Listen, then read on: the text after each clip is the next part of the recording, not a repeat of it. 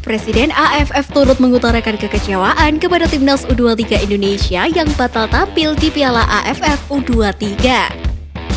Ketum PSSI Iwan Bule pun menjelaskan semuanya secara terperinci. Dan kini Garuda Space mencoba menyajikan informasinya sebagai berikut.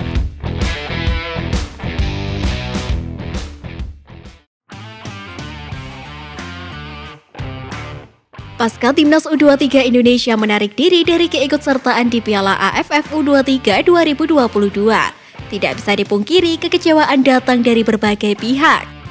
Tak hanya membuat kecewa supporter timnas Indonesia, namun juga AFF sebagai penyelenggara.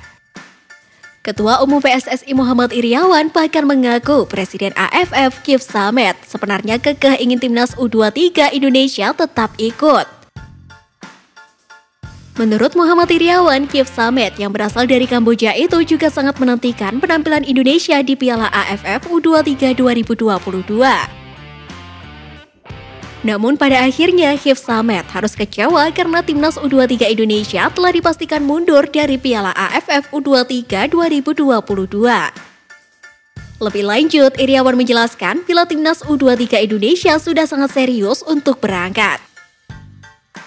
Namun situasi tidak bisa dipaksakan dan pada akhirnya timnas U23 Indonesia hanya bisa berbesar hati. Kami telah komunikasi Presiden AFF, dia ingin kami tetap kirim timnas Indonesia. Tapi kami tidak bisa paksakan. Sekali lagi kami nyatakan ke mereka di luar kemampuan saya. Ujar Muhammad Iriawan kepada awak media.